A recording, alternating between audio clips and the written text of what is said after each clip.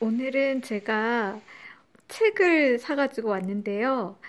어, 이- 지금 이렇게 책들이 많이 보이시죠? 이게 총 47권인데, 그 당근 마켓이라고 어플리케이션 통해가지고 제가 살고 있는 동네에서 어, 중고 물품들을 싸게 파는 그 어플에서 총 12,000원을 주고 이 47권의 세계 문학, 한국 문학 전집을 사가지고 왔습니다.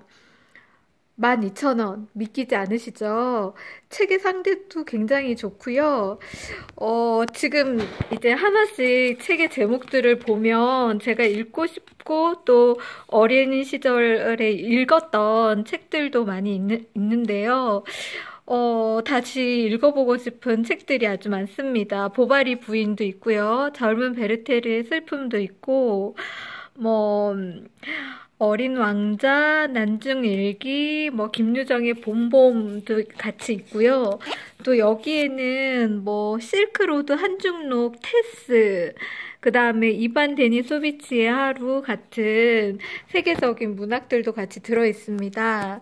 그리고 여기에는 구운몽, 뭐, 아큐정전, 햄릿, 파블로프의 곤충기, 폭풍의 언덕, 정말 제가, 어, 유년 시절에 너무 열심히 읽었고 감동받았던 책들인데 다시 읽어보게 돼서 아주 지금 설레고 기쁩니다. 그리고 여기에는 좋은 글씨, 그 다음에 뭐, 동방견문록, 어, B사관과 러브레터, 여자의 일생, 김유정의 작품들도 있고요.